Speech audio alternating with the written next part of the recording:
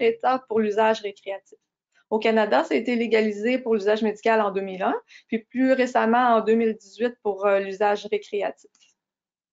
Donc, la prévalence de la consommation, en fait, au Canada, c'est un des, euh, pays occidentaux qui a le plus importante consommation de cannabis. En 2017, euh, on a fait un, sondage, dans le fond, puis les résultats, c'était que 15% des Canadiens qui étaient âgés de 15 ans et moins rapportaient l'utilisation de cannabis dans la dernière année c'est un petit peu plus des hommes que des femmes. Puis vu euh, la date de 2017, ben, c'est sûr que si on refaisait le sondage maintenant que le cannabis est légal, les chiffres changeraient peut-être à ce niveau-là. Euh, en fait, il y a une autre étude aussi en 2020 qui a évalué la consommation de cannabis et de la cigarette dans différents pays. Puis selon cette euh, étude-là, le Canada venait en première position. Ensuite de ça, dans la même étude, ils ont évalué plus la consommation quotidienne, seulement de cannabis. Puis à ce moment-là, le Canada arrivait deuxième sur les quatre pays. Si on regarde un petit peu plus la consommation au niveau du Québec, euh, dans le fond, la province de Québec vient au huitième rang par rapport aux autres provinces canadiennes. Encore là, c'est plus les adolescents et les jeunes adultes qui rapportent le plus de consommation. Puis, euh, dans ces groupes, c'est souvent un petit peu plus euh, des fumeurs occasionnels versus des fumeurs réguliers. Donc, le cannabis vient d'une plante. Euh, il y a différents types de plantes. En fait, euh, la plante sativa est celle euh, la plus utilisée due à sa concentration élevée de THC. En fait, le THC, c'est vraiment l'ingrédient actif de la plante. puis, on va le voir un petit peu plus tard dans la présentation. Le CBD aussi est un, un, ingrédient de la plante. Donc, dans la sativa, le niveau est plus bas en CBD. On a aussi la plante indica, qui a un niveau qui est plus élevé en CBD. Puis le troisième type de plante, c'est le ruderalis. En fait, euh, les niveaux sont vraiment bas là, en THC puis en CBD. Donc, on n'utilise pas vraiment sur le marché. Par contre, c'est une plante qui est plus facile à faire pousser. Puis ce qu'il disait, c'est qu'il voulait peut-être faire des mix entre les autres pour augmenter les, les, concentrations des ingrédients actifs puis faciliter, dans le fond, euh, de faire pousser la plante. Donc, une fois qu'on a la plante, dans le fond, vous transformez le produit. Donc, euh, les plus communs, en fait, euh, qu'on connaît, c'est plus la marijuana, qui habituellement va être un peu plus faible en THC. Ensuite de ça, le hashish, qui va être un petit peu plus fort en THC. Puis finalement, l'huile de hashish, qui peut aller quand même jusqu'à une concentration de 50% de THC. Ensuite de ça, les méthodes de consommation. En fait, on peut soit inhaler le cannabis, le fumer. Habituellement, on va fumer la marijuana. Ça peut être aussi mélangé dans la nourriture, c'est plus au niveau du hashish. On peut le prendre de façon orale, soit en capsule, soit en huile. Il peut aussi avoir des gels, des vaporisateurs, puis il y a peut-être aussi d'autres méthodes de consommation. Ceux-là, c'est les plus importants. Ensuite de ça, est-ce que ça serait peut-être mieux d'ingérer ou de fumer? Il y a différentes façons. En fait, euh, fumer le cannabis euh, est plus associé là, à une prévalence puis une gravité plus élevée au niveau des pathologies buccales. Quand on fume le cannabis, il y a environ 50% du THC qui est inhalé. De ça, il y en a de la moitié qui est expirée, donc on peut penser qu'il y a à peu près 25% qui est absorbé par nos poumons. Selon les lectures, dans le fond que j'ai fait, il y aura un petit peu moins de pertes quand on déciderait de faire euh, l'utilisation avec euh, du vapotage, une cigarette électrique. Les effets, en fait, si vous fumez ou vous vapotez versus si vous ingérez le cannabis, en fait, si vous fumez, le début d'action va être vraiment rapide contrairement à l'ingestion. Par contre, si vous, mangez, dans le fond, ça va durer plus longtemps, mais les deux euh, méthodes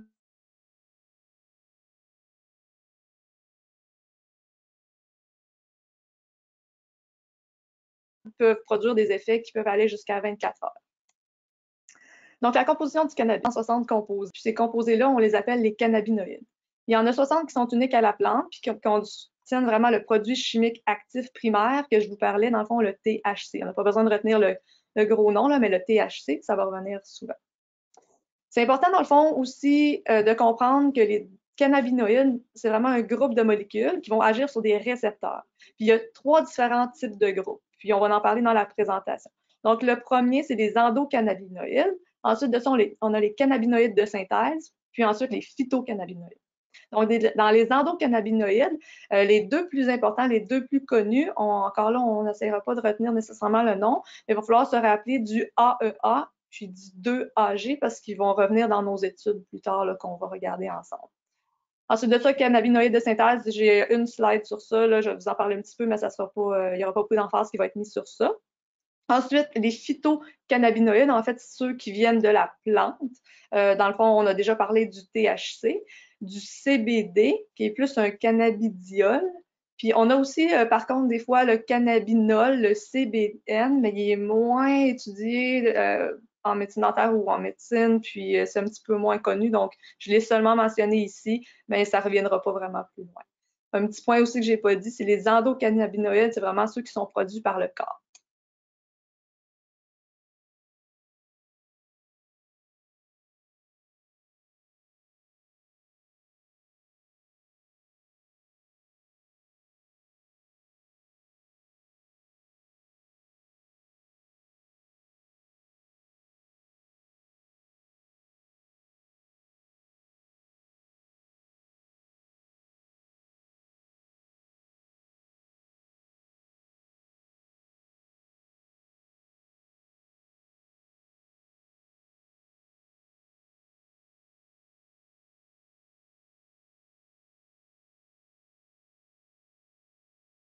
C'est important aussi de retenir ça quand on va regarder nos études un petit peu plus tard, c'est ce qui va revenir.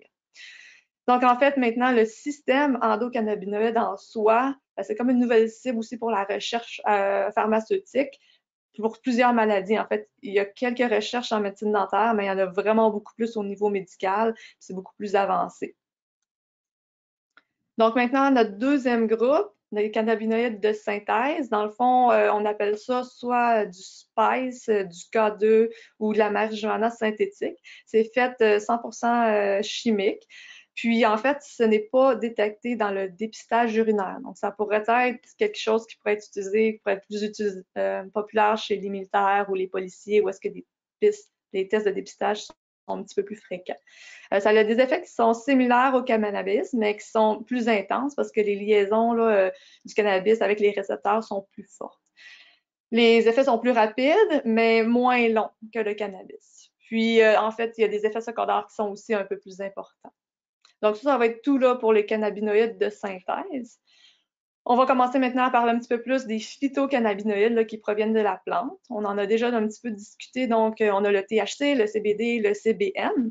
Donc, le THC, c'est vraiment le composé avec l'action psychoactive la plus élevée.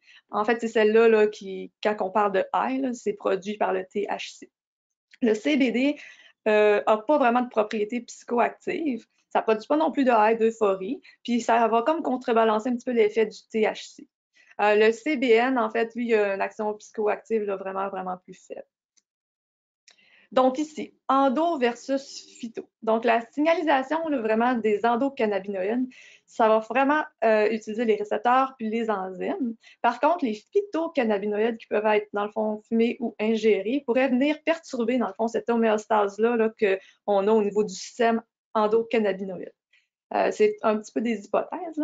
Euh, les structures tridimensionnelles des composantes du système sont connues, mais ne sont pas complètement connues, donc elles restent encore à élucider. Donc, c'est pour ça que ça peut être un petit peu difficile de vraiment bien comprendre les interactions qu'il y a entre les phytocannabinoïdes qu'on va ingérer ou qu'on va fumer, puis leur impact réel sur notre corps. Il y a d'autres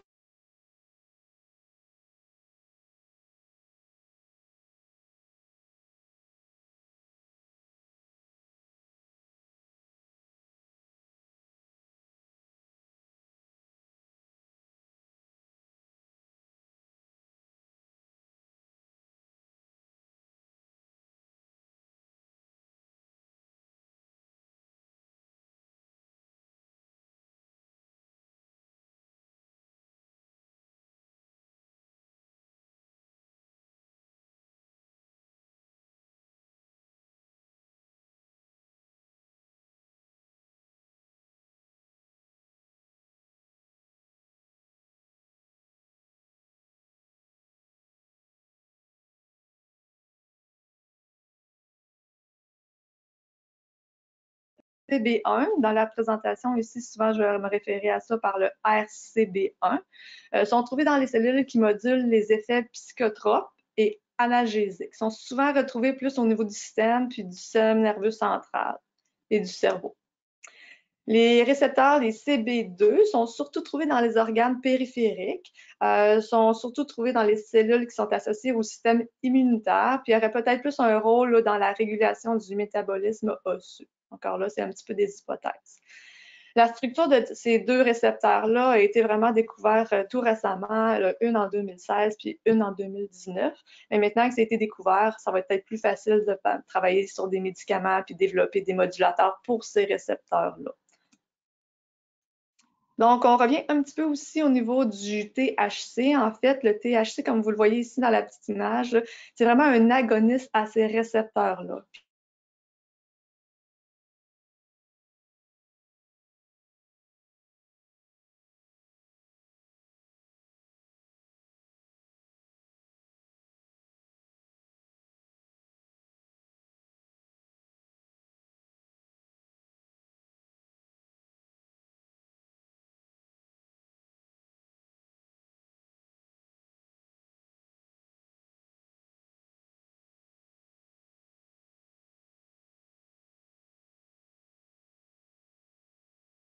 On va regarder un petit peu plus le cannabinoïdes. Ça, c'est un petit peu plus euh, général. Maintenant, si on veut rentrer plus dans les cannabinoïdes et la parodontite. Donc, il y a plusieurs résultats qui sont un petit peu contradictoires qui ont été rapportés là, quant à l'effet du cannabis sur la résorption osseuse puis sur la fonction des ostéoblastes. Il n'y a pas beaucoup d'études, euh, puis les études qu'on a, par contre, des fois, vont manquer euh, d'une bonne méthodologie. Euh, il y a des études qui sont faites in vitro et in vivo. Il faut vraiment faire attention quand on lit, de savoir vraiment quel type d'études, puis surtout, qu'est-ce qui est étudié? Est-ce que c'est plus au niveau des endocannabinoïdes ou des phytocannabinoïdes? En fait, quand on est familier avec le sujet, c'est quand même assez simple, mais sinon,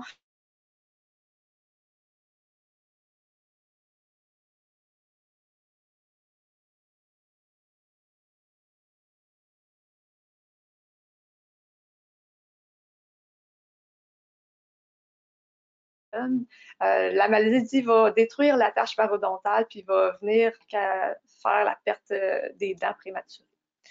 Euh, je voudrais juste mentionner un petit peu plus la bactérie Porphyromonas gingivalis parce que vous allez voir que dans les études qu'on va regarder, ça va revenir. Donc, c'est l'un des principaux agents pathogènes. c'est une bactérie à gramme négative anaérobie.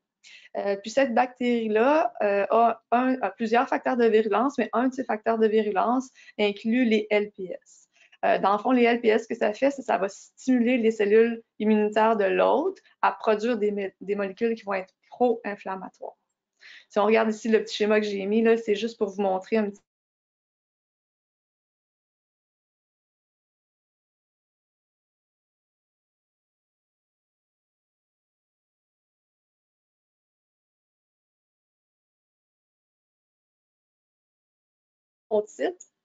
dans le fond, on a des molécules pro-inflammatoires qui vont vraiment induire euh, une réaction cellulaire. Puis là, il va y avoir un état inflammatoire qui va être créé, qui va causer par la suite une destruction des tissus conjonctifs, puis la, euh, résorption osseuse. Mais au même, moment, euh, on a des mécanismes de protection qui veulent prévenir cette destruction-là pathologique due à l'état inflammatoire qui est présent. vous allez voir que des fois, dans les études, ben, c'est là-dessus qu'on essaie de jouer. Ce qu'on veut idéalement, c'est d'avoir un équilibre entre les mécanismes qui sont pro- et anti-inflammatoires pour éviter, dans le fond, euh, la progression euh, de la maladie. Mais cette inégalité-là, ben, ça va déterminer à quel point la maladie va être grave puis va progresser rapidement. Euh,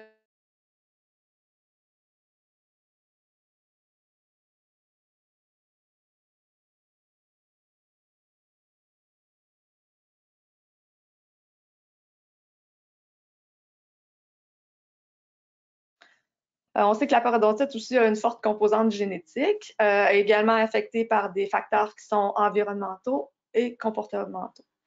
La littérature vraiment qu'on a sur l'association entre le cannabis et la paro n'est pas abondante, mais quand même un petit peu plus grande qu'au niveau des autres euh, domaines en médecine dentaire. Donc, on va regarder ça ensemble. En premier, on va commencer par regarder des articles qui vont qui ont plus étudié les endocannabinoïdes, donc le système qu'on a dans le fond dans notre corps, c'est quoi l'effet sur la parodontite. Euh, dans le fond, comme on dit tantôt, le, ce système endocannabinoïde-là qu'on a euh, dans notre corps,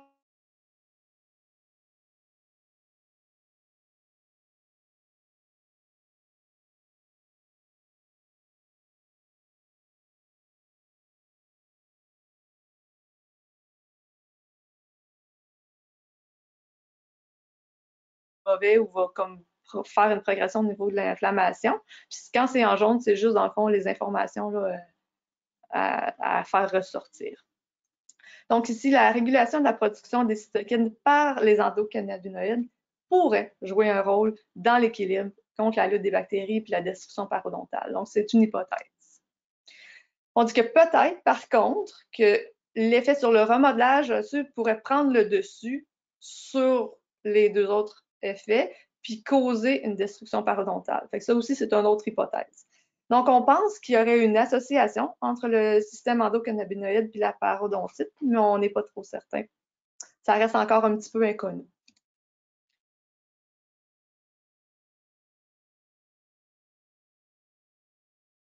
Donc, on va commencer par regarder quelques études. Donc, notre première étude, c'est de Nakajima. Elle a été faite en deux. C'est une étude qui est faite in vitro sur les endocannabinoïdes. Donc, leur hypothèse était que les LPS des bactéries stimuleraient les cellules de l'hôte, qui, eux, libéreraient euh, les endocannabinoïdes dans les tissus parodontaux. Ce, ça, euh, ça pourrait réduire la production excessive de molécules pro-inflammatoires, donc ça pourrait nous aider. Donc, leur résultat, c'est qu'en fait, les fibroblastes gingivaux expriment ces récepteurs-là. Ça, ils ont trouvé que oui, c'était exprimé au niveau des fibroblastes gingivaux. Ensuite de ça, ça pourrait réguler l'expression vraiment des récepteurs cannabinoïdes à la hausse. Donc, il y a des résultats aussi contradictoires si vous lisez les études qui diraient que ça pourrait les régulariser à la baisse. Euh, par contre, quand vous lisez les études, c'est vraiment important de voir la méthodologie, de voir quel type de, cellules ils ont utilisé, là, si c'était euh, in vitro. Euh, puis aussi, quel type de stimuli, en fait? Euh, est-ce que, dans le fond, les phytocannabinoïdes, les endocannabinoïdes, est-ce que c'est injecté, est-ce que c'est fumé? Parce que quand on regarde ça, les résultats font beaucoup plus de sens. Mais si vous faites juste lire les conclusions des études, puis que vous n'avez pas ces, ces détails-là, ben là, à ce moment-là, des fois, ça ne fera pas de sens. Donc, on va voir ça aussi. Donc, dans ces résultats, les AEA, on se rappelle que c'est des endocannabinoïdes. Euh, c'est les deux les, plus euh, étudiés. Il y a le AEA puis le 2AG. Donc ici, le AEA, toujours à dose dépendante, diminuerait dans le fond la production des médiateurs euh, pro-inflammatoires.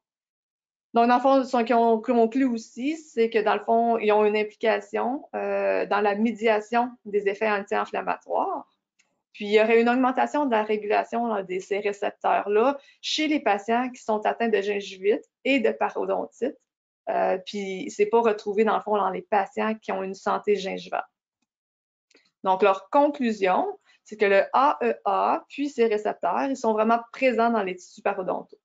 Le système endocannabinoïde, lui, pourrait être en fait un protecteur pour ces tissus, puis éviter, dans le fond, une réaction inflammatoire trop élevée.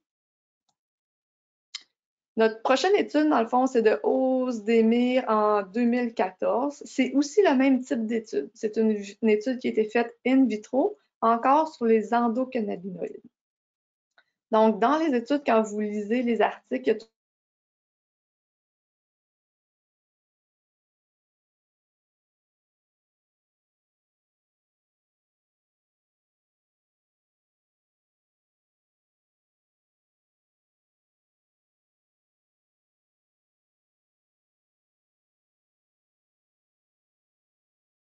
parle d'une étude qui a été faite en 2014. Encore là, ça revient que les endocannabinoïdes les plus connus, comme je disais tantôt, c'est le AEA et le 2AG. Ces deux endocannabinoïdes-là seraient soit partiels ou complètement agonistes aux récepteurs que je vous ai parlé aussi, le RCB1 et RCB2. Ensuite de ça, ça parle des cellules du ligament parodontal humain. En fait, euh, ce type de cellules-là, c'est vraiment largement utilisé pour les simulations des conditions in vivo. quand vous comparez les études, ben, c'est important de savoir quel type de cellules ils ont utilisé pour faire l'étude parce que ça pourrait faire varier vos résultats. Euh, Ensuite de ça, euh, par contre, bon, le AEA et le 2AG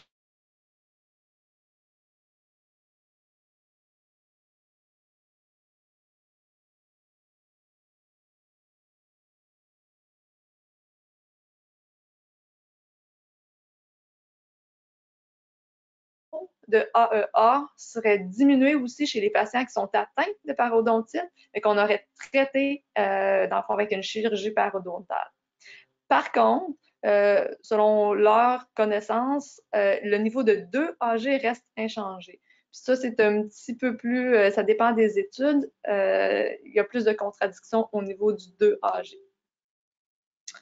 Donc, euh, dans les études euh, antérieures qui ont été faites in vitro, euh, en général, le AEA serait lié à une diminution de la production des médiateurs qui sont pro-inflammatoires. Donc, ça favoriserait plus la prolifération des cellules fibroblastes. Encore là, dans les études animales, quand on reprend aussi le AEA,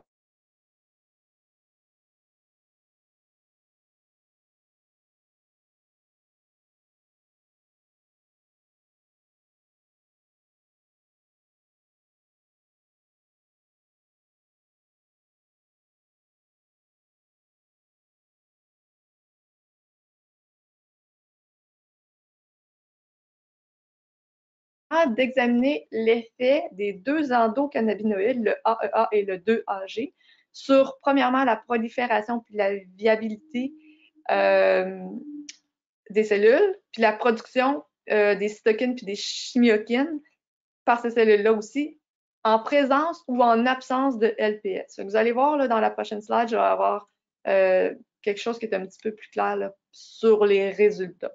Donc, juste un petit ici, refresher là, pour euh, l'interleukine 6. En fait, c'est une cytokine qui est pro-inflammatoire. Euh, elle a un rôle quand même assez important dans l'inflammation puis la stimulation de l'ostéoclastogénèse, puis de la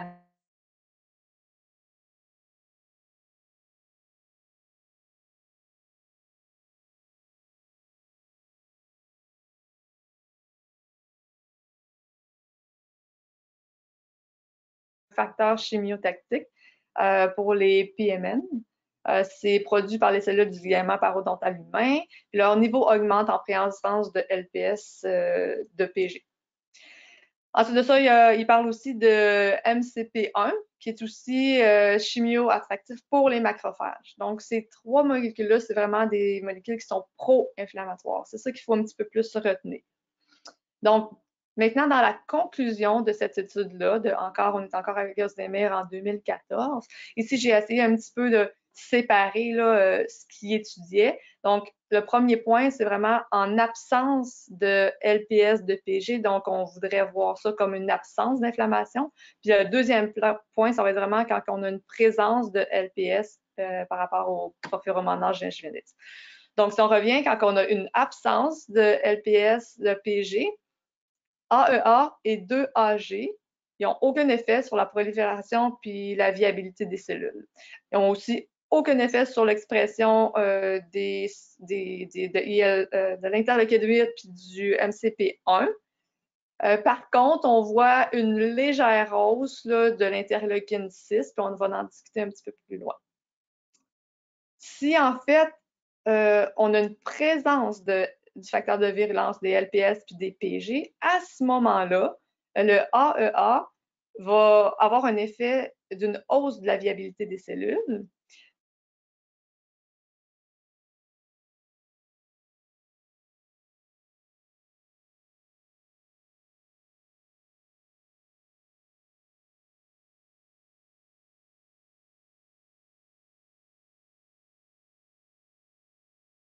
Donc, ça serait un petit peu pas idéal pour nous.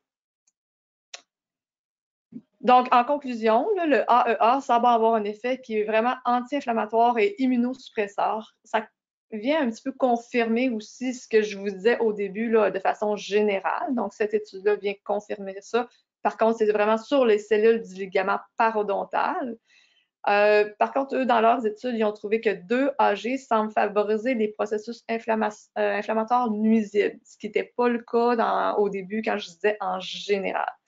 Euh, par contre, il y a vraiment d'autres études sur d'autres types de cellules qui n'ont vraiment pas trouvé le même effet sur la molécule 2AG. C'est juste ça qui est un petit peu plus contradictoire dans cette étude-là. Donc, leur conclusion encore, c'est que le résultat, il suggère vraiment que les endocannabinoïdes sont pas capables d'induire l'inflammation. Par contre, ça pourrait affecter puis moduler la réponse inflammatoire. Je vous présente une autre étude aussi encore là, sur, euh, qui, serait, qui est encore faite in vitro, puis euh, sur les endocannabinoïdes. Ça a été fait en 2017 par Abidi. Euh, il n'y a pas beaucoup de conclusions vraiment nouvelles par rapport à cette étude-là, mais elle est un petit peu plus récente. Donc, euh, il parlait dans le fond des deux récepteurs là, qui sont des cibles qui sont vraiment visées. Euh,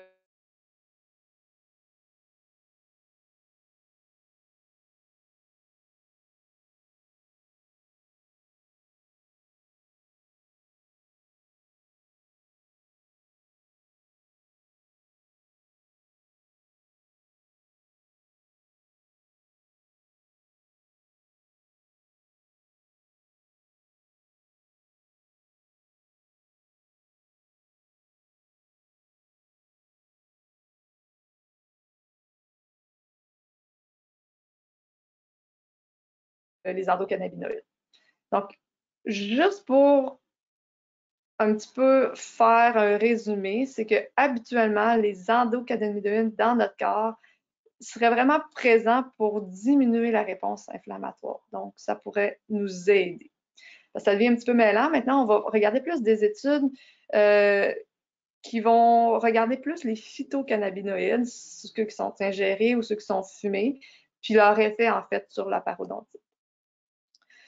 Euh, ils se sont penchés beaucoup sur les mécanismes d'action, les points d'interrogation, c'est parce qu'on ne sait pas vraiment exactement c'est quoi les mécanismes d'action. Il y en a qui vont juste dire que ça serait lié, dans le fond, que les utilisateurs de cannabis auraient une mauvaise santé dentaire.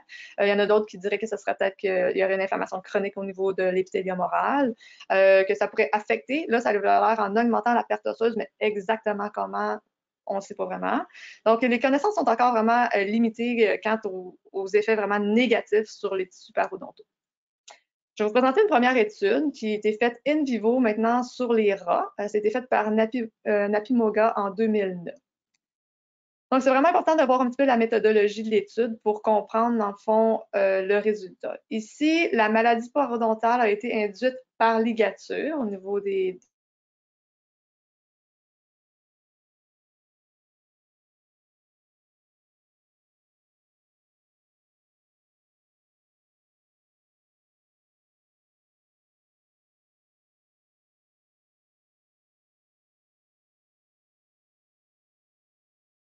été utilisé en injection. Ici, c'est vraiment important, la différence entre l'injection et l'inhalation par la fumée. Donc, après 30 jours, euh, les rats, dans le fond, étaient euh, tués, puis en fait, on faisait nos analyses suite à ça. Donc, ce qu'ils ont euh, trouvé comme résultat, c'est que le groupe où il y avait les maladies parodontales et l'injection de CBD, on peut voir une diminution de la perte osseuse alvéolaire, dans le fond, puis une expression qui était plus faible au niveau de rank L puis rank. Donc, ça serait positif pour améliorer les maladies parodontales. Ils ont aussi noté qu'il y avait une diminution de la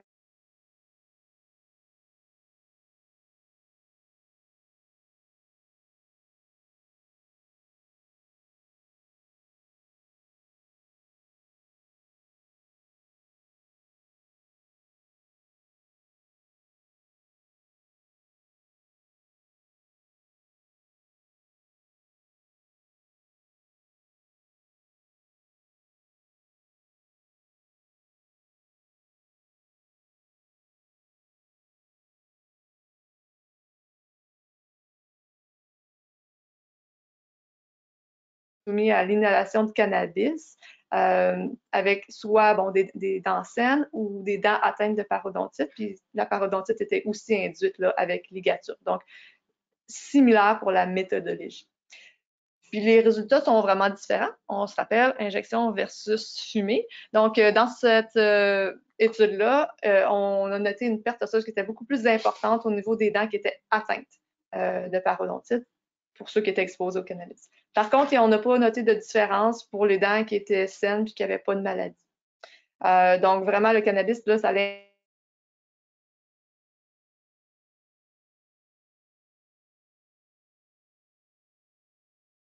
pas la perte osseuse, mais ça pourrait l'augmenter quand elle est déjà présente. C'est ce qu'en ont conclu. Un petit peu d'études maintenant qui ont été faites in vivo, mais chez l'humain. Donc, la première que je vous présente, c'est Sharif en 2017. Dans le fond, le but de l'étude, c'est vraiment d'examiner la relation entre la consommation fréquente de cannabis à usage récréatif, puis la prévalence de la parodontie. Puis ça, tout ça, c'est chez les adultes, euh, puis c'est une étude qui a été faite sur la population aux États-Unis. Bon, les données ont été euh, recueillies euh, entre 2011 et 2012. ce qui est vraiment bien par rapport à cette étude-là, c'est qu'il y a un grand nombre de participants, pas mal égal entre les hommes et les femmes.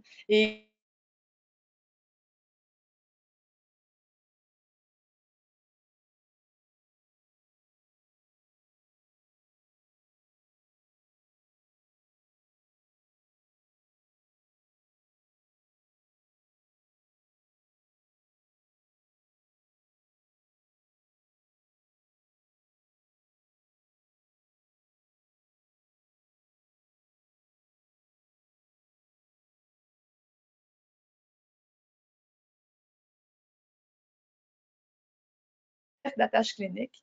Euh, puis, en fait, il faisait six, sites par dent pour toutes les dents, à l'exception des troisièmes molaires.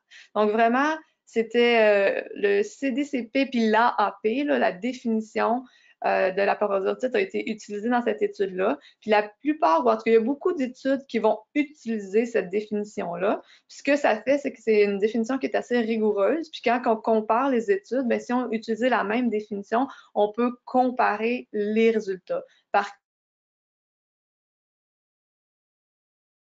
contre, si on prit une autre définition, qu'une parodontite, elle a une poche de 4, ben là, ça devient un petit peu plus mêlant, puis on peut plus, dans le fond, comparer les résultats. Ça, c'est quand même assez plus standard. Puis, euh, dans le fond, dans cette classification-là, c'est vraiment, il y a quatre catégories. Je ne vais pas vraiment tout expliquer, mais ça, c'est vraiment les catégories, puis qu'est-ce que ça veut dire une parodontite sévère, qu'est-ce que ça veut dire une parodontite modérée, débutante ou un parodontite sain. En fait, aussi dans l'étude, euh, comment ils ont évalué euh, la consommation de cannabis récréatif. En fait, c'était par déclaration volontaire. Donc, euh, ce qu'il demandait, c'est qu'il classait l'utilisation fréquente euh, de une fois et plus par mois au cours des 12 derniers mois. Puis une utilisation non fréquente, c'était moins qu'une fois par mois. ça aussi, c'est à prendre en considération. Premièrement, c'est déclaration volontaire. Puis deuxièmement, euh, c'était pas encore légal dans le temps. Puis troisièmement, ben, c'est de voir si, euh, dans le fond, une autre étude qui se ferait, est-ce qu'une utilisation fréquente, ce serait plus qu'une fois par mois, ce serait 12 ou 13 fois par mois, ben, les résultats vont en être affectés.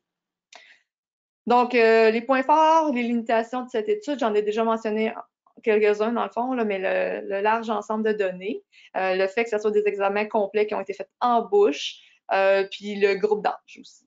Euh, les limitations, c'est surtout que parfois, quand tu vas chercher les données qui sont déjà présentes, euh, on n'a pas toutes les données chez certains individus, puis ça ne veut pas dire que ça ne serait pas des bons candidats, mais c'est pour ça que les individus ont été, dans le fond, tassés. Euh, fait que ça l'exclut peut-être des données qui auraient été pertinentes. puis le fait aussi que la consommation de cannabis été de façon volontaire, ça pourrait créer une sous-déclaration. Donc, leur étude, leur conclusion, c'est que 26,8% des consommateurs étaient des consommateurs fréquents. De tous les utilisateurs, il y avait quand même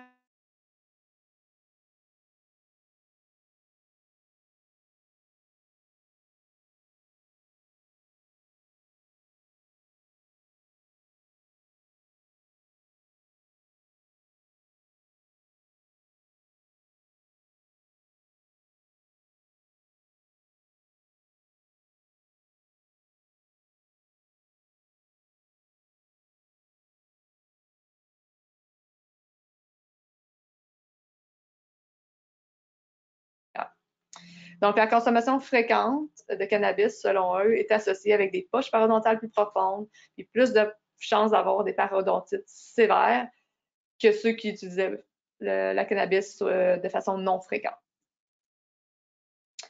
Dans leur discussion, euh, en fait, quand vous lisez un article, il y a tout le temps aussi une partie de discussion où est-ce que leurs résultats sont comparés à ce qui existe dans la littérature. Donc ici, euh, il disait que les données de l'étude qu'on vient de mentionner euh, étaient en lien ou avaient les mêmes conclusions que trois autres études humaines. On va les regarder rapidement, mais Thomson, Meyer et Jameson. Une étude animale, Nogueria, Fio. Puis que toutes ces études-là, puis cette étude qu'on vient de voir, rapportent vraiment qu'il y a une association néfaste entre le cannabis puis l'état parodontal. Mais il disait par contre qu'il y avait deux autres études dans la littérature qui avaient des résultats qui, coordonnaient pas avec leurs résultats. Il y en avait une que c'était une étude transversale euh, chez des étudiants de Lopez, puis Napimoga, on va la regarder aussi. Donc, pour les prochaines têtes, ça va être vraiment une par une les études. Donc, Thomson, et en 2008, eux autres aussi avaient trouvé que la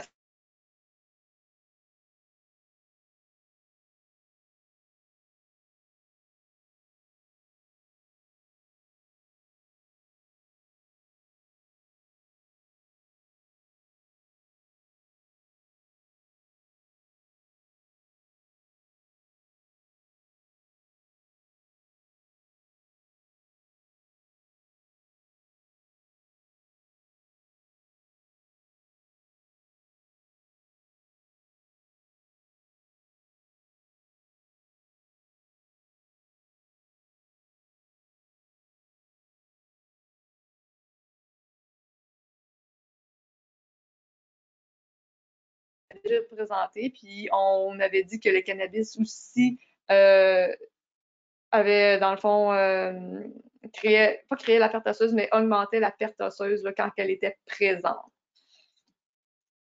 Ensuite, les deux études qui ont été mentionnées qui n'ont pas vraiment les mêmes euh, résultats. Une de ceux-là, c'était Lopez et Al en 2009. Par contre, je voulais vraiment juste pointer, des fois, il faut juste regarder un petit peu plus la population de cette étude-là, c'était vraiment des adolescents. Puis chez les adolescents, ben, il risque d'avoir de la maladie parodontale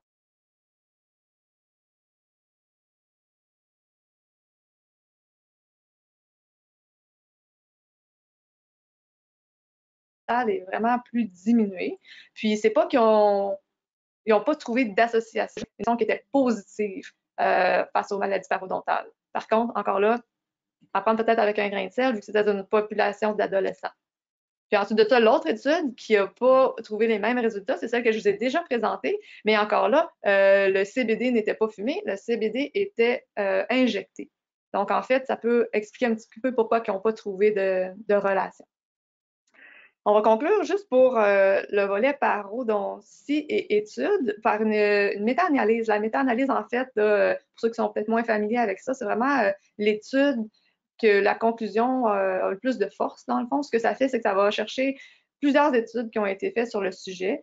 Puis, euh, les études qui ont une méthodologie les plus rigoureuses, souvent ça va être les RTC, euh, vont être retenues. Fait que toutes ces études-là vont être lues, vérifiées, puis on va retenir juste ceux qui sont vraiment bien faites, puis qui sont fortes avec les conclusions. Puis on va faire une analyse de ça pour voir si ça va encore nous donner euh, une relation positive. Donc, quand on a une relation positive avec une méta-analyse, c'est quand même euh, assez fort, là, puis on peut quand même se fier un petit peu plus là, à ça que, mettons, une étude sur euh, quelques cas, neuf patients de quelqu'un qui avait une méthodologie un petit peu plus, plus douteuse. Donc, c'est Chissini en 2018. Au début, dans le fond, euh, vous allez voir les résultats plus tard, mais au début, ce que je vais faire, c'est juste euh, parler en général de ce qu'il y avait dans l'article. Donc, euh, il parlait des limitations des études en général qui sont faites sur le sujet. donc, il disait que des fois, je vous en avais parlé, la définition de la maladie parodontale, comme là, si on prend le modèle de l'AAP, puis que tout le monde prend ce modèle-là, on va pouvoir comparer les études. Mais ce n'est pas le cas dans toutes les études. Donc, si on veut faire une méta-analyse, ben, ça va être plus difficile de comparer les résultats. Ensuite de ça, la consommation de cannabis est rapportée de façon volontaire. Puis en plus, c'est rapporté de façon volontaire, mais souvent dans les études, euh, c'est pas des questions qui sont standards, puis que c'est la même question dans toutes les études ou comme je vous ai dit, fréquent, ben, c'est une fois par mois, ça peut être quatre fois par mois.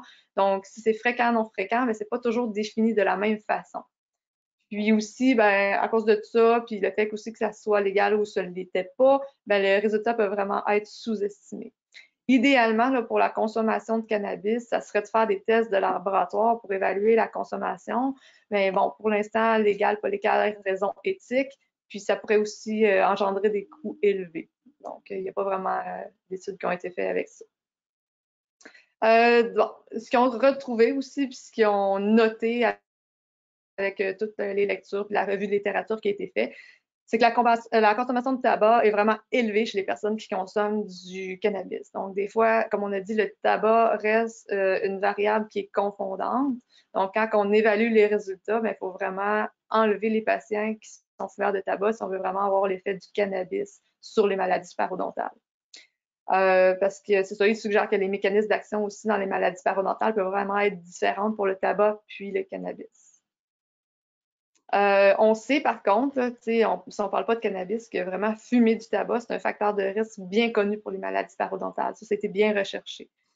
Mais il manque vraiment plus de données au sujet du cannabis, l'effet du cannabis tabac, effet cannabis tabac parodontie. Ce que les autres suggèrent quand il y a des méta-analyses, après ça, il y a comme des suggestions pour les études à venir, ce serait vraiment de séparer les fumeurs de tabac, euh, les exclure pour vraiment avoir une analyse des groupes qui soient vraiment reliés juste au cannabis. Euh, bon, aussi, euh, dans la méta-analyse, dans le fond, avec euh, les lectures, il disait que le cannabis pourrait interférer, dans le fond, dans l'activité des ostéoblastes et des ostéoclastes. ça pourrait augmenter la perte osseuse des sites qui sont déjà atteints de parodontie. C'est quand même aussi une hypothèse. Par contre, encore là, je vous reviens, là, on est en 2018, puis euh, dans le fond, la façon dont le cannabis agit au niveau de la destruction des tissus, ben, c'est vraiment pas encore clair, puis qu'il y a certaines études qui ont montré des résultats qui sont contradictoires. Maintenant, la méta-analyse, dans le fond, a retenu plusieurs études, mais suite à, dans le fond, euh, la sélection des bonnes études, la méta-analyse a été faite avec quatre études. Les quatre études qui ont été retenues, dans le fond, il y en a trois que je vous ai déjà présentées, puis il y a Ortis, dans le fond, que je ne vous ai pas encore présenté. Donc, les autres, vous êtes un petit peu au courant de la méthodologie. Euh, Ortiz, lui, en 2017, a fait une étude sur un nombre quand même assez élevé d'adultes, 735. Euh, il a fait des entrevues, il a fait des examens parodontales avec euh, la classification là, de CDC-AAP. Euh, par contre, aussi, ce qu'il vérifiait dans son étude, c'était les il faisait des prélèvements pour le VPH, puis il voulait savoir s'il y avait une association. Fait que la méthodologie était bonne, euh, la façon d'examiner, dans le fond, en bouche était bonne et standard aussi. Euh, puis leur conclusion, c'est que la consommation de marijuana était vraiment associée avec les maladies parodontales. Par contre, eux autres, ils n'avaient pas trouvé le lien avec le VPH, mais ils avaient trouvé un lien avec les maladies parodontales. Donc, avec ces quatre études-là que je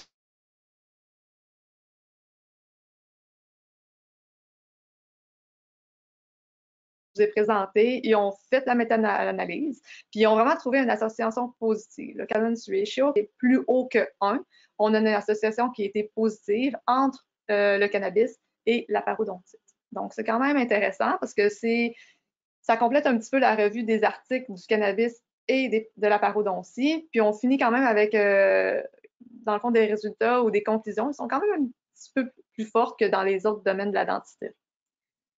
Maintenant, on va passer au volet plus euh, cannabis et santé bucco-dentaire en général. On a quelques données aussi par rapport à ça. Donc, euh, les variables qui influencent euh, les effets du cannabis là, sont multiples. premièrement, ça peut dépendre vraiment de la puissance du médicament, donc la concentration du THC qu'on va inhaler. les autres constituants aussi dans le cannabis vont avoir des effets. Dans le fond, on parle des goudrons, des cancérigènes, euh, la façon aussi qu'on va l'administrer, comme je vous l'ai dit, est-ce qu'on la fume, on vapote, on l'ingère, parce que ça ne va pas euh, former tous les mêmes sous-produits.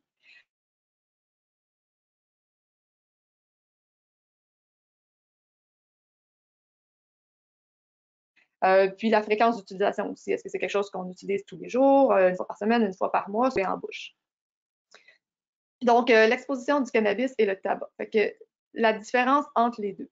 Euh, selon les lectures que j'ai faites, en fait, ils disent qu'il y aurait une exposition qui serait peut-être plus grande pour le cannabis versus le tabac. Par contre, souvent, le tabac va être utilisé de façon plus fréquente. Mais ce qui expliquait, c'est que quand euh, les patients vont fumer du cannabis, ils ont tendance à avoir euh, le volume de la fumée plus grande. Ils vont avoir une inhalation plus grande. Ils vont tendance à la garder plus longtemps dans les poumons, ce qui pourrait expliquer un petit peu l'exposition plus grande. Euh, ça disait aussi que la température de combustion serait plus élevée pour le cannabis. Fait que bon, par rapport au tabac. Fait que peut-être qu'à cause de ça, on pourrait avoir plus de risques d'hyperkératose ou de leucoédème en bouche. Ensuite de ça, euh, la concentration des goudrons, des goudrons et des substances cancérigènes serait peut-être plus élevée dans euh, le cannabis versus le tabac. Par contre, je vais vraiment mettre un bémol ici parce que c'est ce que j'ai lu dans certains articles, mais il n'y a vraiment pas beaucoup d'études sur la concentration de goudron dans le cannabis comme tel. Puis, dans le fond, le THC, ça va aussi avoir un effet protecteur contre les euh, mécanismes pro euh. Donc, c'était vraiment pas trop clair. Ça dépendait quel article tu lisais aussi. Euh, puis la nicotine, elle pourrait vraiment augmenter les effets cancérigènes de la fumée du tabac. Donc, euh, on a un petit bémol ici. Donc, je vais vous présenter une revue qui a été faite par euh, en 2008, une revue de littérature, dans le fond. Euh, puis, dans ses conclusions, ce qui nous amenait, c'est vraiment les effets néfastes du cannabis sur la cavité buccale, euh, parce que quand on fait une revue, on fait la lecture de plusieurs, plusieurs articles qui a fait un genre de résumé de ce qui a été euh, noté en bouche chez les utilisateurs de cannabis. Donc, euh, xérostomie, une des choses les plus importantes, dans le fond. Il y a noté du cancer de la bouche, infection candida albicans, gingivite, parodontite. Fait que gingivite, parodontite, on l'a pas mal couvert. Puis les autres choses, c'est plus des choses qu'il a notées. Pour là, vraiment faire un, une revue des effets du cannabis là, dans la cavité buccale. Euh, pour les militaires, il y a eu euh, une étude qui a été faite euh, par Dr. José Lanza de l'Université de Toronto, mais qui a été demandée par l'Office du, Chief Dental Officer. Puis c'est vraiment une revue de littérature qui vient juste, juste d'être publiée là, en 2020 de tout ce qu'on sait à date. C'est tout été résumé. Donc, vraiment, je vais vous, dans ma présentation, tout ce qui est dans cet article-là a été résumé. Mais si vous avez à lire juste un article, c'est un très bon article à lire. Donc, euh,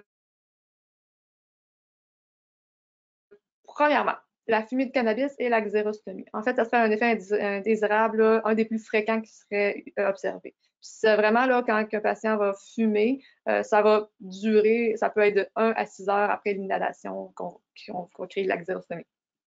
Quand les patients vapotent, ça pourrait aussi créer de la xérostomie. Puis on va en parler un petit peu plus tard, mais il y a aussi le cannabis qui peut être pris sous prescription. Euh, il y a différents produits que je vais vous nommer aussi plus tard. ces prescriptions-là aussi, dans le fond, pourraient être associées avec la xérostomie. La fumée de cannabis et la salive aussi. Donc, le cannabis pourrait aussi modifier la composition chimique. Donc, en fait, ça pourrait diminuer le pH puis la concentration de phosphate dans la salive puis diminuer l'effet tampon. Ça pourrait aussi diminuer sa production, hein, comme on disait pour la xérostomie. Puis, à cause de toutes ces raisons-là, ça pourrait augmenter les risques des pathologies buccales. En ce qui est trait au carie, ben déjà, on a parlé que ça pourrait créer de la xérostomie, que ça pourrait diminuer le pH de la salive, que ça pourrait aussi favoriser l'accumulation de plaques et de tartes.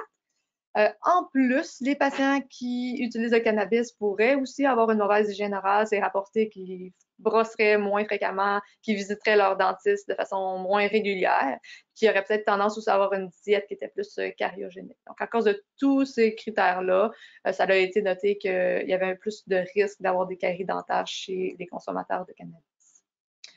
Pour ce qui est le cancer oral, en fait, euh, il y a 90% des fumeurs de cannabis qui fument dans le fond du tabac. 90, ça dépend où est-ce que vous regardez, mais il y a beaucoup, beaucoup de fumeurs de cannabis qui fument aussi le tabac.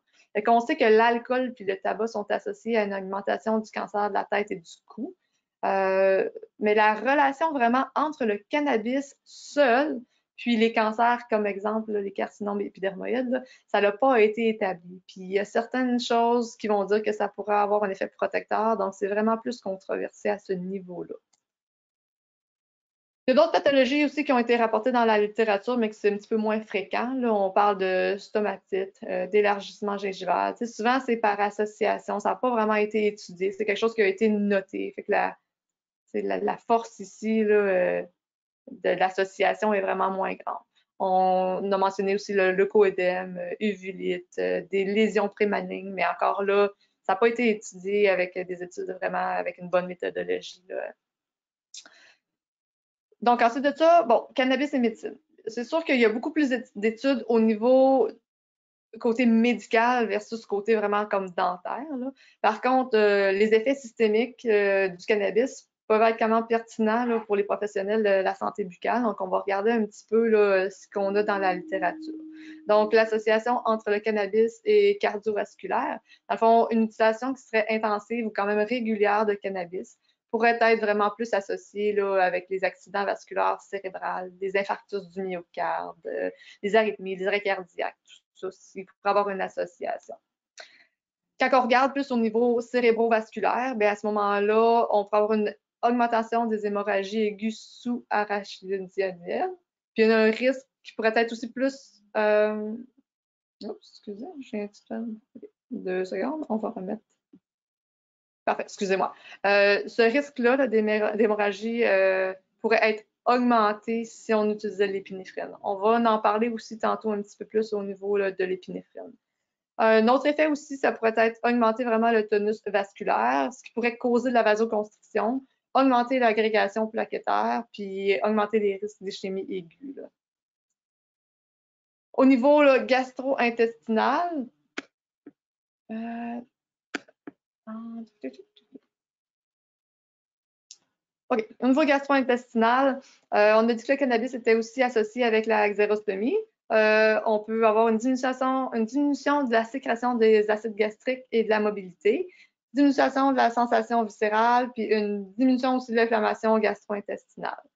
Pour nous, dans le fond, ce qui est peut-être important de connaître, c'est que les utilisateurs qui sont vraiment chroniques, qui utilisent beaucoup, beaucoup le cannabis, il y a un syndrome qui est associé, qui pourrait être associé à ça. Ça s'appelle le syndrome d'hyperémèse cannabinoïde, dans le fond. ça serait une urgence euh, médicale que vous pourriez peut-être rencontrer si vraiment vous n'êtes pas chanceux. Les symptômes que le patient va avoir, ça serait des nausées et des vomissements qui seraient quand même sévères et cycliques. Euh, les traitements pour ça, dans la littérature, ça disait des bains chauds, ça va comme un peu réduire ou aider pour les symptômes. Mais le, traitement, en fait, c'est vraiment l'arrêt du cannabis. Fait que dans le fond, c'est plus de reconnaître ça, euh, puis de peut-être diriger le patient. Ensuite de ça, le cannabis est aussi beaucoup utilisé euh, en, fait en médecine euh, pour plusieurs choses, soit les douleurs chroniques, la sclérose en plaques, dépression, arthrite. Là, il y a plusieurs champs d'études. tantôt, je vous ai dit qu'il y avait plusieurs médicaments. Là, les plus connus, en fait, on a le Sativex. Celui-là, je vais vous en parler à cause que je vais vous présenter une étude. Ça a un petit peu plus un lien avec euh, la dentisterie ou les. Parce que ça, c'est un spray dans la bouche. Euh, c'est utilisé pour les, douleurs neuropathiques. Euh, on a aussi le marinol, le cisamède. Ça, c'est vraiment utilisé pour contrôler les vomissements et les nausées chez les patients en oncologie là, qui ne répondent pas au traitement conventionnel il y a aussi euh, Epidiolex qui est aussi utilisé euh, pour l'épilepsie euh, pédiatrique, mais encore là, quand ça ne répond pas au traitement conventionnel. Mais ça, c'est trouvé sur le marché.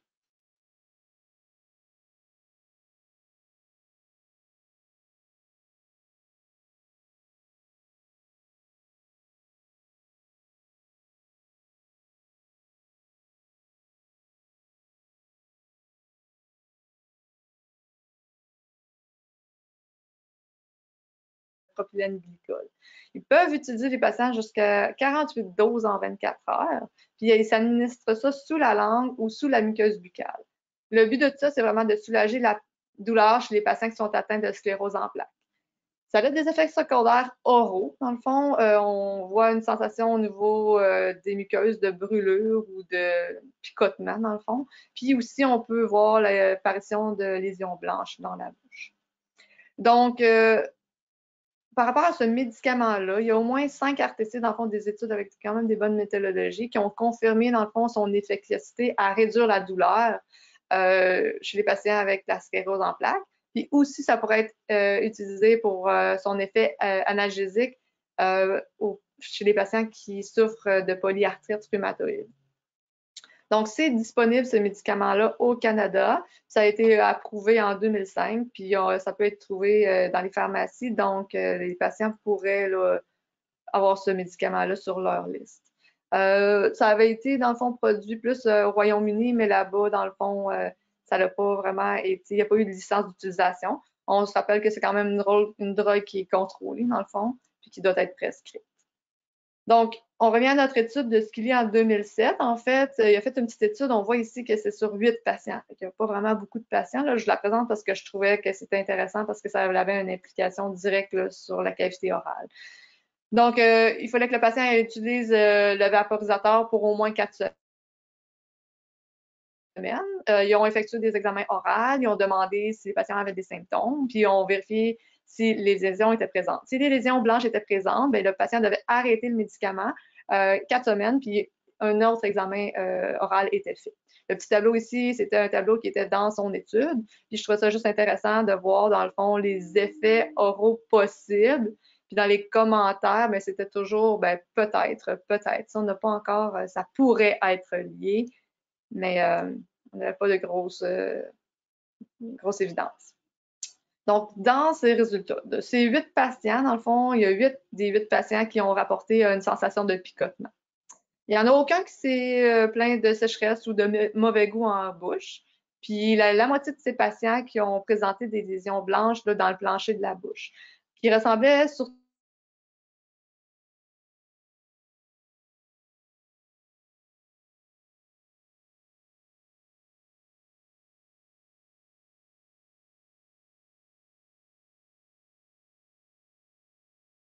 euh, il disparaissait ou vraiment il s'améliorait quand les patients étaient revus quatre semaines plus tard. Ils se sont aussi questionnés par rapport à la concentration d'alcool dans le médicament, parce qu'une concentration élevée en alcool euh, soulève des inquiétudes pour l'utilisation chronique. Euh, ils conseillaient de faire des examens fréquents chez ces patients-là ou de passer à une formulation sans alcool, que je ne suis pas trop sûre non plus si ça existe sur le marché. Par contre, c'est difficile à déterminer que oui, vraiment, ça serait l'alcool parce qu'il y a vraiment des manques de preuves juste au niveau des rince-bouches qu'on utilise des rince-bouches avec alcool. Euh, il n'y a pas de preuves présentement là, que c'est vraiment associé là, avec les cancers buccaux. Euh, fait qu'on ne pourrait pas nécessairement dire que ce serait l'alcool. On va maintenant regarder un petit peu plus euh, l'effet du cannabis que ça pourrait avoir sur nos patients qu'on voudrait faire de la sédation. Euh, les études sont vraiment plus au niveau du domaine médical, mais ils pourraient peut-être nous aider un petit peu les résultats à adapter à notre pratique euh, en tant que dentiste. Donc, il y a quelques études. Dougalis, en 2005, a fait une revue de littérature aussi. Puis, euh, les informations qui ont ressorti par rapport à ça, c'était que les cannabinoïdes pouvaient prolonger l'anesthésie qui peut être induite là, par différents agents. puis, ça pourrait aussi interagir avec d'autres agents. Fait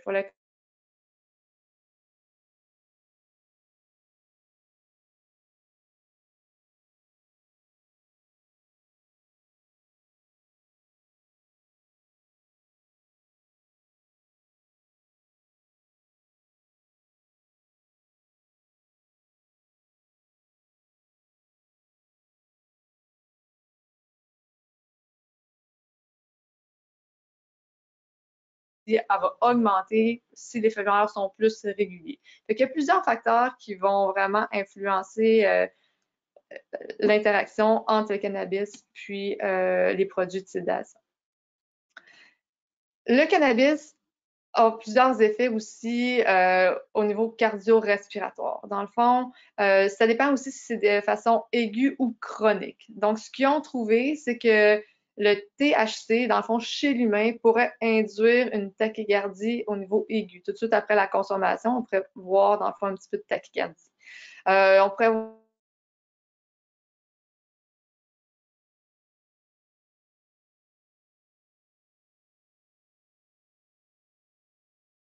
voir aussi l'hypotension orthostatique.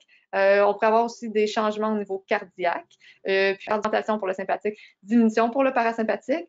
Puis, c'est le contraire plus euh, quand on parle de l'administration qui est chronique. l'hypotension reste dans les deux cas, que ce soit de façon aiguë ou chronique. Par contre, euh, dans le fond, la consommation de THC, mettons, tout de suite, va induire de la tachycardie, mais à long, long terme, on va plus parler de bradycardie.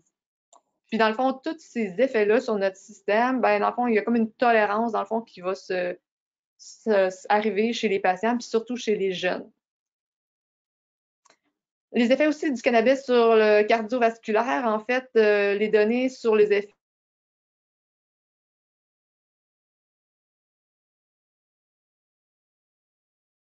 du cannabis euh, chez les utilisateurs euh, de longue date sont quand même assez contradictoires. La carie et d'hypotension, ben, les raisons sont un petit peu inconnues. C'est quelque chose qu'on a comme plus remarqué. puis les problèmes qui sont cliniquement significatifs sont quand même plus rarement observé. oui, on a observé des choses, mais en clinique, est-ce que c'est quelque chose qui est vraiment très, très, très pertinent? Ben, c'est plus rare. Vous allez voir que s'il y a une combinaison de plusieurs facteurs, à ce moment-là, oui. C'est pour ça que c'est important de savoir un petit peu les effets que ça a sur notre corps. Euh, donc, encore sur euh, cardio-respiratoire, ben, dans le fond, il faudra faire une petite attention particulière avec euh, la sédation. Dans le fond, chez les patients qui auraient une autre condition. dans le fond, ils fumeraient du cannabis, on voudrait faire la sédation, puis ils ont aussi déjà des problèmes cardiovasculaires. Fait ça, à ce moment-là, bon, peut-être qu'on pourrait commencer à être un petit peu plus, euh, prendre plus de précautions. Euh, parce que ça pourrait avoir des conséquences vraiment au niveau cardio-respiratoire. Ça pourrait avoir des interactions avec les médicaments, euh, exemple les sympatholytiques ou les parasympatholytiques. Dans le fond, c'est de comprendre vraiment ces interactions-là. Des fois, on peut utiliser ces interactions-là pour nous aider, mais en même temps, des fois, si on ne les connaît pas, ça peut nous, nous créer des complications puis être pris avec quelque chose qu'on n'a pas anticipé. Donc, euh, la sédation puis le cannabis, dans le fond, les évidences ils suggèrent que les cannabinoïdes pourraient interagir avec une gamme de médicaments qu'on utilise euh, en pratique. Euh, puis les interactions, comme je l'ai dit, pourraient être synergiques, ça pourrait augmenter les avantages, mais en fait, il faut les connaître pour éviter les effets indésirables. Euh, une autre étude qui a été faite en 2019, dans le fond, c'était un examen de 250 dossiers médicaux. C'est comme ça que la méthodologie a été faite. Euh, ça voulait vérifier l'effet de la consommation de cannabis sur les besoins en sédation. C'était fait sur euh, des procédures endoscopiques. Cette étude-là de 2019 a déjà été critiquée dans la littérature aussi. Il disait que, dans le fond, le sujet en général était peu étudié, euh, puis aussi que les études n'étaient pas idéales à cause de la méthodologie. Euh, mais leur euh, conclusion, c'était que les consommateurs réguliers de cannabis vraiment avaient besoin d'une quantité de sédation vraiment plus élevée. Malgré que ce n'était pas une super étude selon certains, ben, la conclusion, vous allez voir, on a une autre étude qui va être pas mal similaire à notre autre étude. Donc, euh, Wu et Andrew, en 2017, 2019, euh, ont aussi fait une revue. Donc, euh, ils voulaient faire, ils voulaient vérifier l'implication de la consommation encore du cannabis sur la sédation, encore pour les procédures endoscopiques, sur le même type d'études. dans leur conclusion, on disait aussi que la littérature était quand même assez rare. mais par contre, il y a deux problèmes qui ont ressorti. Donc, une augmentation en besoin de sédation, comme notre autre étude. Donc, les patients utilisant le cannabis aurait besoin de plus de sédation pour avoir un niveau adéquat.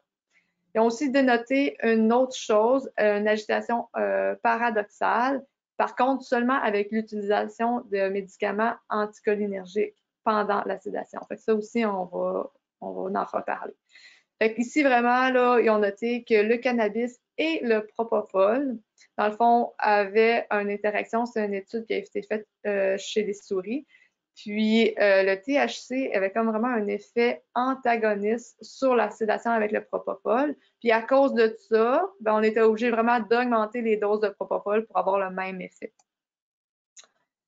Ensuite de ça, la deuxième chose qu'ils ont noté, c'était vraiment euh, l'agitation euh, paradoxale avec l'utilisation des médicaments anticholinergiques. par exemple, le Benadryl. Dans le fond, le Benadryl, parfois, peut être utilisé là, pour éviter la dépression respiratoire euh, qui est associée quand on utilise des opioïdes pour la sédation. Donc, si on utilise en plus le Benadryl, ben, ça va avoir effet comme de bloquer l'effet de l'acétylcholine. Puis, dans le fond, les cannabinoïdes aussi, ça a comme euh, l'effet d'inhiber la libération d'acétylcholine. Donc, euh, ils se sont dit que les deux ensemble, ça pourrait vraiment créer peut-être une toxicité anticholinergique, d'où la réaction paradoxale. Puis ça devrait vraiment être évité selon les conclusions de cette étude-là. Ensuite de ça, si on regarde un petit peu le cannabis et l'anesthésie locale, euh, il n'y a pas vraiment d'études, de grandes études dans ce domaine-là. Par contre, un petit peu au niveau médical, fait qu'on va regarder un petit peu ce qu'on peut avoir par rapport à ça. Fait cannabis, épinéphrine. Dans le fond, on sait que le THC pourrait provoquer une tachycardie vraiment immédiatement suite à la consommation. Donc, euh, les anesthésiques locaux aussi, qui contiennent l'épinéphrine, aussi pourraient prolonger cette tachycardie-là qui a été induite par le cannabis. Ça, c'est notre hypothèse. Euh, bon, le cannabis interfère aussi euh, avec des mécanismes de la réponse du stress, puis cardiovasculaire, on en a déjà discuté. donc, des réactions croisées entre les métabolites actifs du cannabinoïde, du cannabis et Ici, j'ai mis l'atropine et l'épinéphrine, c'est possible. Euh, on peut avoir des épisodes d'arythmie cardiaque, puis des euh, périodes aussi hypotensives euh, avec ces patients-là. Pour ce qui est maintenant, dans le fond, est-ce qu'on évite ou pas l'épinéphrine chez un patient qui consomme du cannabis? personnellement, non. Par contre, si le patient a plusieurs autres conditions cardiaques, il prend aussi euh,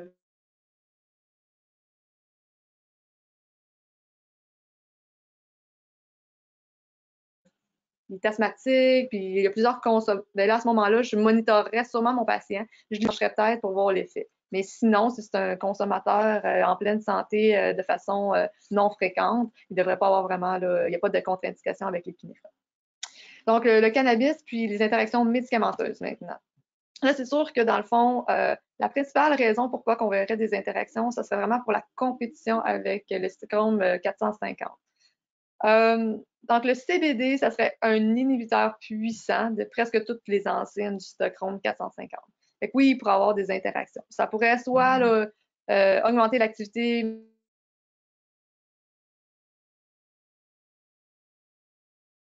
métabolique des enzymes, ce qui pourrait aussi diminuer l'efficacité des médicaments conventionnels qu'un patient pourrait. Le contraire aussi euh, pourrait arriver. Dans le fond, la diminution des enzymes pourrait augmenter la concentration du mécanisme euh, des médicaments dans le sang, puis arriver à une certaine toxicité.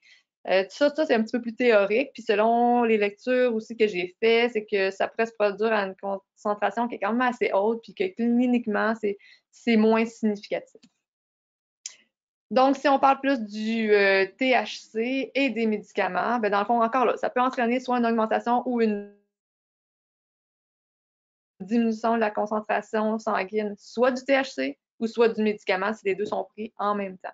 Ça va dépendre de quand même plusieurs choses, mais ça peut dépendre du métabolisme hépatique, s'il est inhibé ou s'il est augmenté. C'est quand même assez compliqué, mais un des exemples qu'il nous disait, c'est que, bon, des antifongiques azolés, il y a quatre types d'antifongiques, mais ceux-là, dans le fond, ça inhiberait le métabolisme hépatique. Si le patient en prend déjà, ben si on prend le cannabis, ça va augmenter la concentration de THC dans le sang, puis ça pourrait augmenter ses effets secondaires indésirables à cause de ça.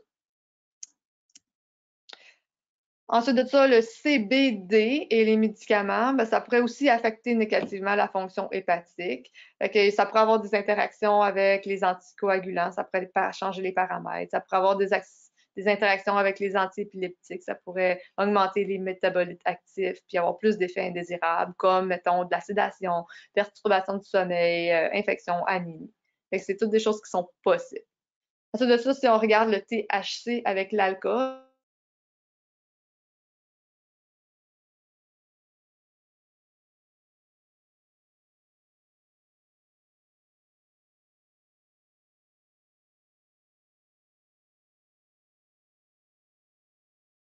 nerveux central, ben, en fait, il y a six classes qui pourraient avoir une interaction, puis ça pourrait vraiment potentialiser la dépression respiratoire et cardiovasculaire chez le patient. Une autre chose, le THC puis les sympathomimétiques, comme j'ai dit euh, aussi, là, si les décongestionnants nasaux ou les bêta-2 bronchodilatateurs, mettons que le patient en prend déjà, mais ça, ça pourrait vraiment potentialiser la vasoconstriction coronaire et la tachycardie. Plus l'épinéphrine, plus s'il y a des problèmes cardiaques, ben là, à ce moment-là, il faudrait peut-être un petit peu plus prudent quand on va administrer notre, notre anesthésie locale.